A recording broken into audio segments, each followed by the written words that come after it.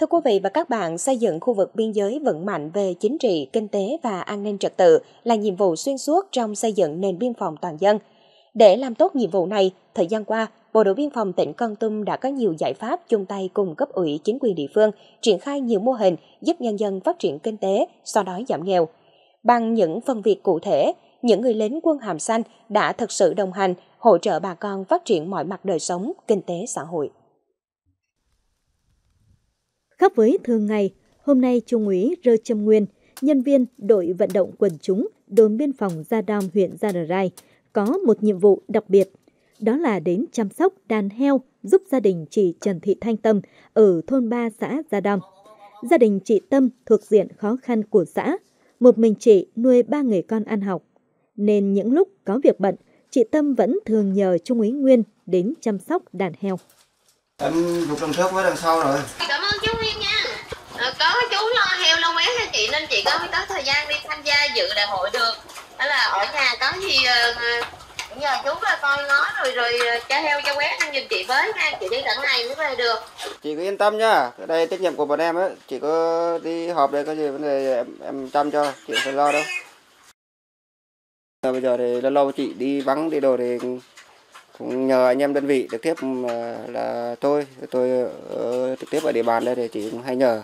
Ờ, ngoài những chị đi vắng cho tôi bảo tôi đi cho heo ăn rồi coi giúp chị những cái vấn đề mà ở đây thì hay có dịch giá này kia rồi uh, hướng dẫn hoặc là ờ, uh, chữa lại chuồng trại cho chị để để khỏi dịch giá này kia. Uh, chung là chị được như thế này thì cũng rất là mừng cho chị.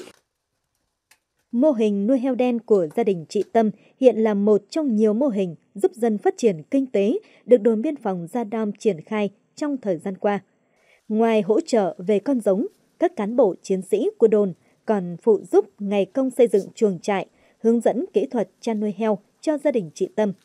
Từ 4 con heo giống được hỗ trợ vào năm 2018, hiện đàn heo của gia đình chị phát triển lên hơn 60 con, trung bình mỗi năm đem về thu nhập cho gia đình hơn 200 triệu đồng.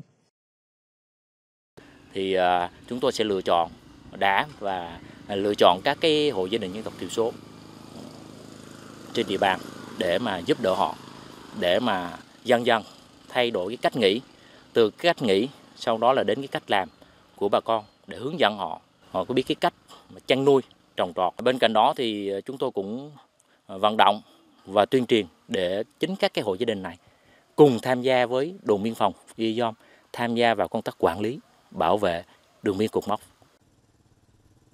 Xác định công tác vận động quần chúng giúp người dân phát triển kinh tế xã hội là một trong những nhiệm vụ chính trị quan trọng để giúp bà con nhân dân khu vực biên giới an tâm sinh sống.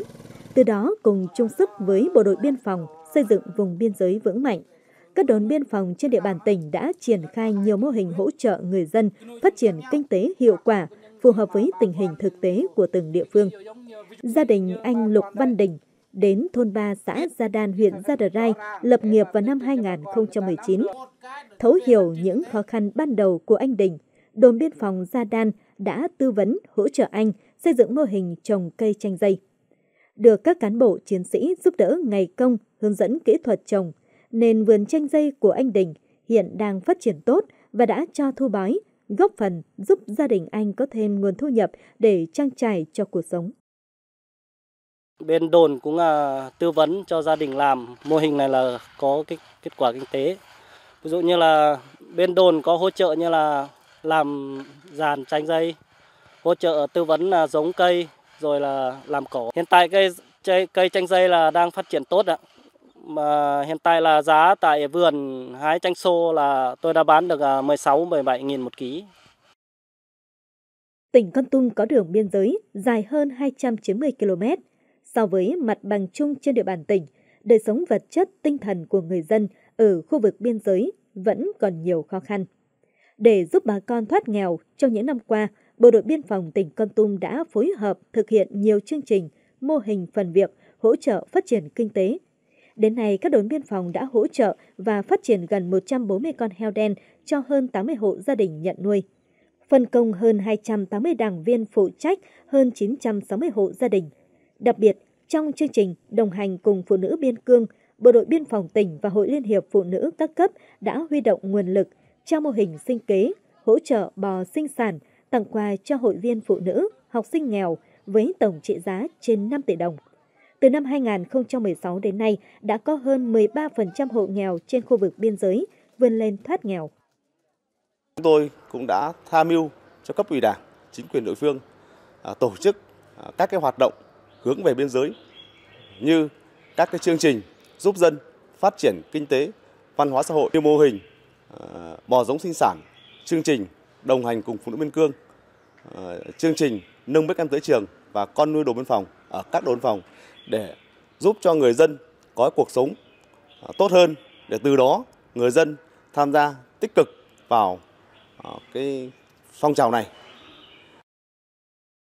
Với những nội dung việc làm thiết thực hiệu quả, lực lượng Bộ đội Biên phòng tỉnh Con Tum đã thực sự đồng hành cùng người dân vùng biên giới phát triển kinh tế xã hội, góp phần xóa đói giảm nghèo, nâng cao chất lượng đời sống nhân dân.